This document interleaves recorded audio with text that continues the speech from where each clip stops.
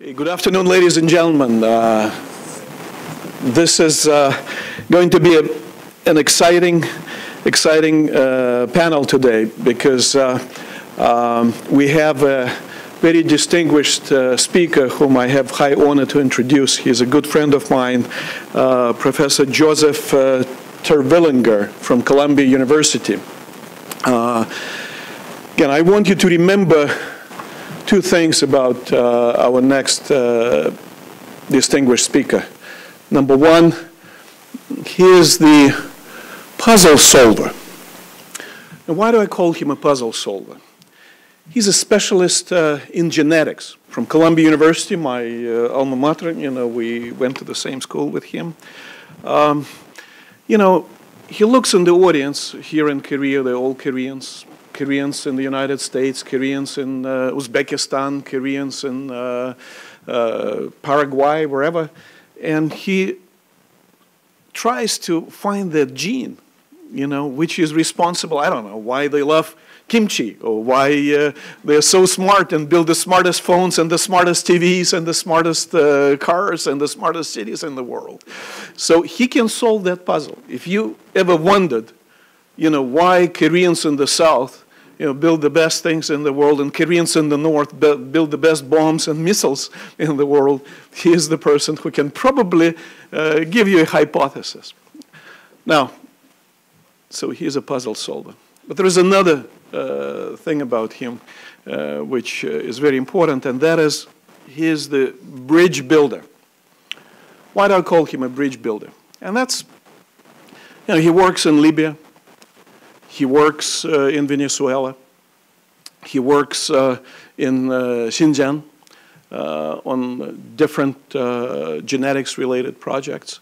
But more importantly, as far as I'm concerned, he is the only person, he's the only person who tried to build a real bridge. It's a 50-mile bridge across the DMZ, you know, to the other Korea. And how did he try to do it? Very simple. I mean, we all hate one man. I mean, most, most of us hate one monster, you know, residing in Pyongyang. Uh, many don't understand him. Uh, actually, no one, no one met him, spoke ever with him, you know, saw him. And yet that man, you know, can put his finger on the button and basically eliminate the city, annihilate, you know, everybody here, except one person who actually met him. And he didn't meet him once, he didn't meet him twice, he didn't meet him three times, he met him four times. And that's Professor Terwilliger, who met Kim Jong-un four times. He spent numerous hours with him, basically trying to understand the man, the dear leader, trying to educate the man, tell him about the world around him.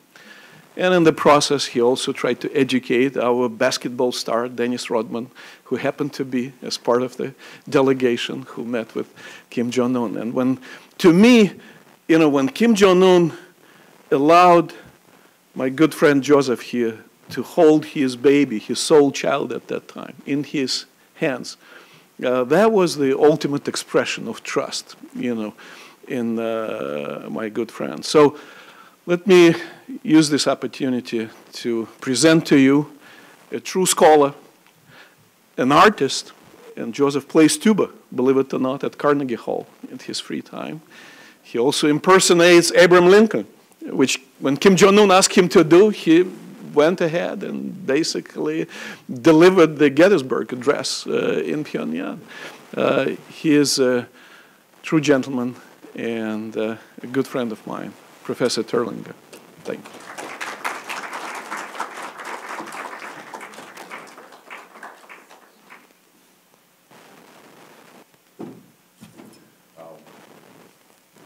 Hi, uh, I'm I'm Joe, and uh, I felt it was a it was a, a, bit strange when I first got the request from Alexander to speak on theology and Pacific Rim culture, since I'm a human biologist and I don't really claim to know anything about theology. I don't know much about the topic at all, um, except what I've gleaned from being at these conferences. This is my second time attending this conference, and I've learned a lot by just being around everybody here. And, you know, as Alexander said, you know, my work is mostly in human genetics. And in human genetics, what we're really interested in is studying the variation between human beings. What makes us all different? What makes us the same? And I work, I, I'm, in human beings, when you want to study biology, you can't do experiments, right? I can't say, uh, Alexander, I'd like you and Cheryl to give me 10 babies so I can put them in cages and feed them different foods and see what happens to them, right? You can't do that. What we have to do is look where situations in the world or historical experience has led to something that's a kind of, in, like an experiment you would want to do. So for me, when I see the world or I see people or I'm working with uh, different cultures and different populations, I try just to observe, to learn, to study, to try to understand what makes people as different as they are, and then try to you know figure out what's going on in terms of biology or in terms of other areas. So I'm I'm a very curious person as a, as a scientist. But the thing is, I don't know anything about international relations, about politics, about theology, about any of this stuff. I just know that I'm curious and I see a question, I want to answer the question, I want to understand it. So I started my career with doing a study. Uh, the first study of this type I did was in Venezuela, as Alexander mentioned. And we found an interesting population there of native people who all lived in one community, had 5,000 people in one family. And I, like everybody's been saying here, I love families. Families are great because also for our research because we want to study what makes families similar. Why are people in the same family more similar to each other? People in the same culture, the same ethnic group, what makes them the same? Or what makes them different, right? So there we had 5,000 people, all of whom were exposed to all kinds of nasty things. In Venezuela, there's all kinds of pollution from the oil industry. They all have worms in their stomachs, all kinds of problems. They, if you there's a lot of violence too. If somebody wants to kill someone, you can rent a gun for an hour, and and then you do what you have to do, and then you give it back. So the same gun is used in every crime. They never can find out who did it, right? It's not like on CSI where they trace the gun. So you would think this is a terrible population with terrible health.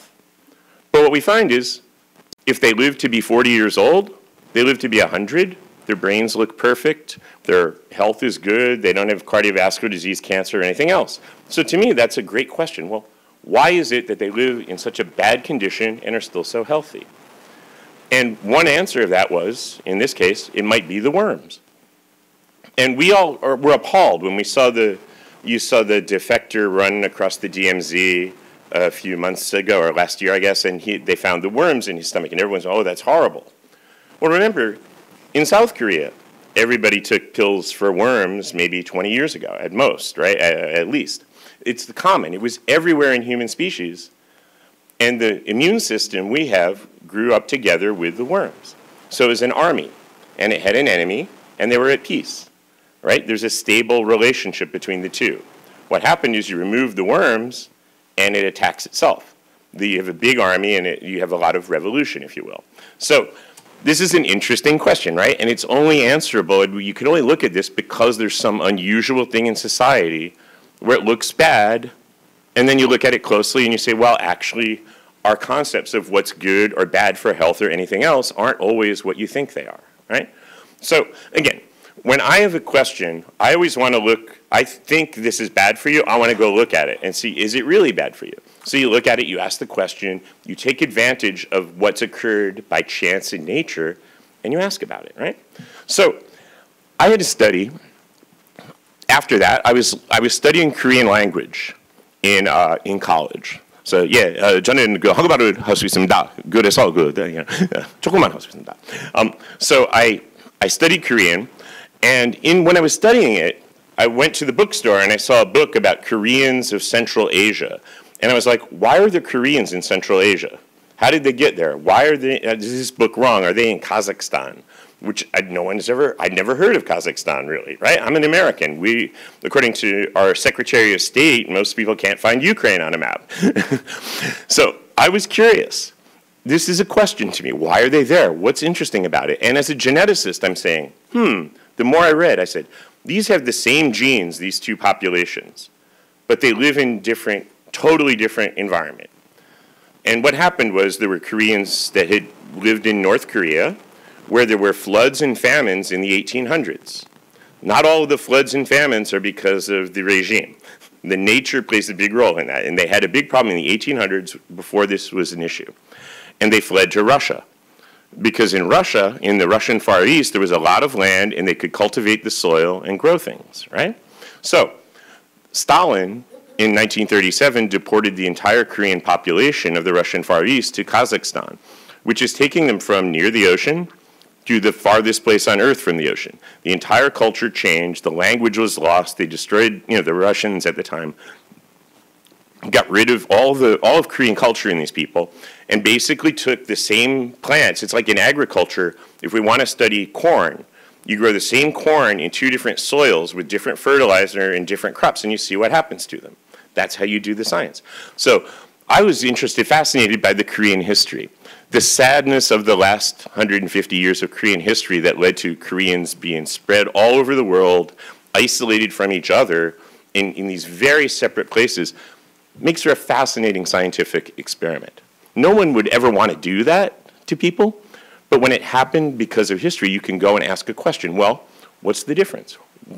How do genes and environment both contribute to who we are? Yes?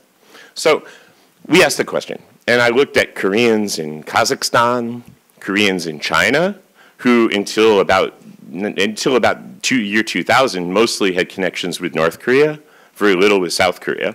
Now it's the opposite, but that changed very fast. But there were these separate groups. And then another really interesting group to me was that there were a lot of uh, Swedish soldiers stationed in the DMZ after the war. They had some children, as soldiers do. And they didn't fit very well in South Korean society, so a lot of them were adopted internationally to Sweden. And the program worked so well, they started doing that with a lot of uh, ethnically pure Korean children who were suffering, who, you know, the families were suffering in the poverty after the Korean War. So here you had a whole group of people who are completely Korean, but their parents are Bonds. And so it's an interesting question. What makes them different, right? So I got really curious and I wanted to use this to answer a question.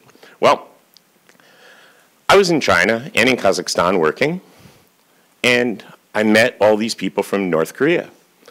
And they were nothing like the stereotype I had imagined you know, you read books about North Korea, you hear what it's like, and you get this concept of robots and people who are brainwashed walking around in a certain way, all wanting to kill the world and destroy everybody. And then you meet them and you realize they're surprisingly friendly. They're almost like, hi, how are you? You know, very innocent. Uh, in Korean, there's the word, you know, sobakada. And that pretty much describes it. It's kind of simple, naive, innocent, almost like children in a way. And I'm like, this isn't what I expected. So I'm a scientist. I'm curious. I ask a question. And I talk to them. And the more I talk to them and try to understand them, not judging people, but talking to people. And I learned a lot of things about what makes them tick. Why, how are they different?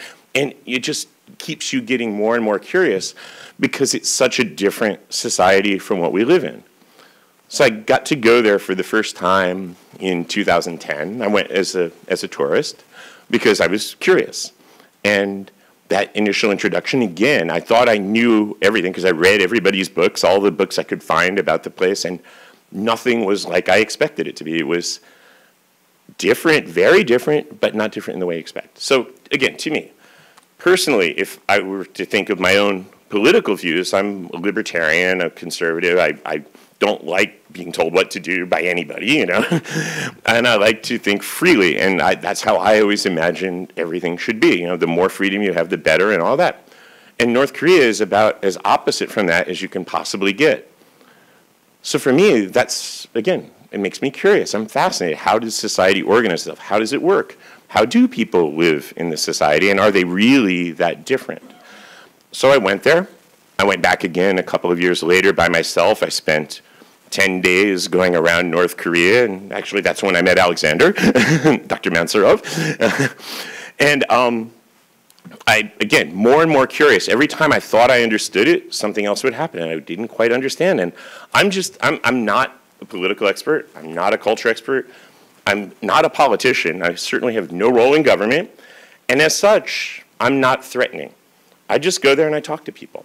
And you talk to people and you build a bridge and you make a connection. It's kind of, it, it was eye-opening experience and I was fascinated again.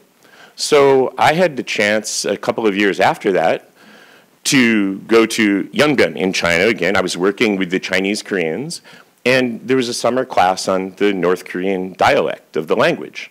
Again, fascinated. I want to learn about this. There was a professor from North Korea teaching foreigners how to speak Korean. So I went, I studied, I listened, I learned, I, I just listened. And as a scientist, it's, you know, I always think of my role when I go to different countries and different cultures and interact with people. I try to think of it as like, you know, you ever watch the TV show Star Trek? You know, Captain Kirk always said the prime directive is to not interfere in foreign civilizations, but just simply observe and try to learn from the experience. And that's kind of what I did when I went to North Korea. So I went back. I had the chance to teach at the Pyongyang University of Science and Technology, which is a university that most of the faculty are evangelical Christians from America who are of Korean descent who go to Pyongyang and teach science, business, capitalism. This is what they want to learn. They want to learn capitalism, they want to learn English, they want to learn business, they want to learn biology. That's great, I think you teach them about things and they want to learn and you can expose people to us and we can learn about them. And it, to me, it was a fascinating opportunity to really get to know people and build, you build a bridge that way. You get to talk to them, you get to think about them. And the more time I spent there, the more you start to really just see that they're exactly the same as we are. They have the same concerns. Everyone I know, I have a lot of friends now in the North and all they care about is what's, what's going on with my children. My child's misbehaving at school, or he didn't do his homework and I got to go punish him, or he went behind the school and got caught smoking, or he was drinking, or he's the same as in America. You know, it's not different. And this, again, isn't the way North Korea is often thought about by people. They think, oh, they're all in cages and they're running around and they're not living as normal people. But life is surprisingly normal. It's, it's almost boring. There's not a lot to do. You're just with your family, your friends, and all this stuff. And and I've had a lot of really interesting experiences that have been very positive as a result of that, dealing with people as people and just trying to learn, you know?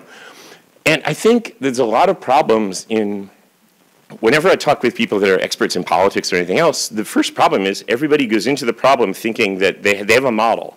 My model is this is how they think, this is how we think, and they go like this. And they never quite get to a point where they can understand each other because they go in thinking, okay, these guys are good, these guys are evil, we wear white hats, they wear black hats. And so people don't really try to understand each other or talk to each other. But that's what I've always tried to do when I've been there.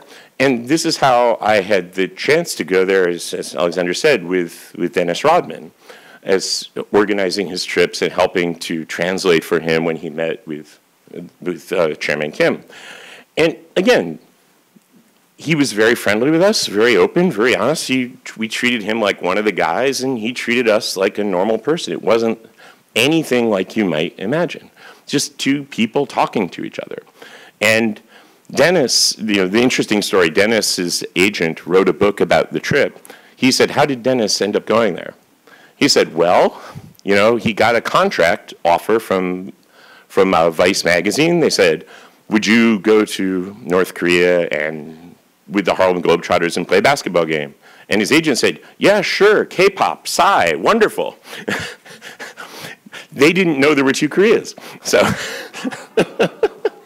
he had no idea. He just went there and he goes, yeah, sure, God wants to meet me, sure, I'll meet him, you know. Uh, when he was there at the game, I, I was translating some for him with Kim Jong-un, and Dennis asked Kim Jong un, Can I meet Psy? And Kim Jong un says, Well, I'd like to meet him. Can you help me? I mean, it was, it's very, yeah, yeah. I mean, this is the, the thing. When you treat people like people, they treat you back like people, right? You talk to him like a normal person, he talks back to you like that, and you can build some kind of a relationship that you can go forward from, right? That's how it is with all human beings. That's what this conference is about, from what I can see. You have people here that disagree about more fundamental things than Kim Jong un and Moon Jae in disagree about, right? Religion is an intimately personal thing, and it's what you believe is the centerpiece of one's ideology, one's life, right? Well, you have people here that are Muslims, Jews, Christians, Jews, everything. They disagree about things that are far more significant in some way, and yet they come here because they can see there's a commonality between it, where there's a common shared experience, as you were just talking about. So isn't that, isn't that kind of what's missing somehow in these international relations contexts, is that we know what we want. We don't want North Korea to have nuclear weapons, right? Well, if you're Kim Jong-un, what do you want?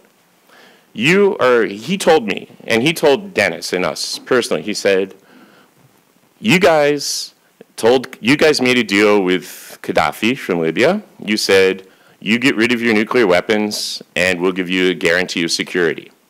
And then we killed Gaddafi. And he said, you know, and then he said, you told Saddam Hussein, you made Saddam Hussein send weapons inspectors into his country.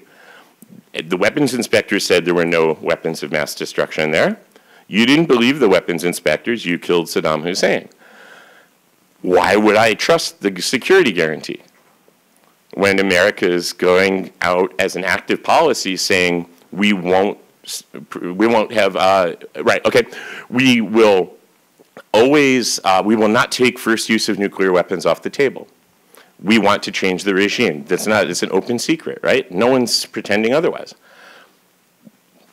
as he said, I'm not that stupid, right? I, I don't want to blow anybody up. I don't want to do anything like that. But what do I do?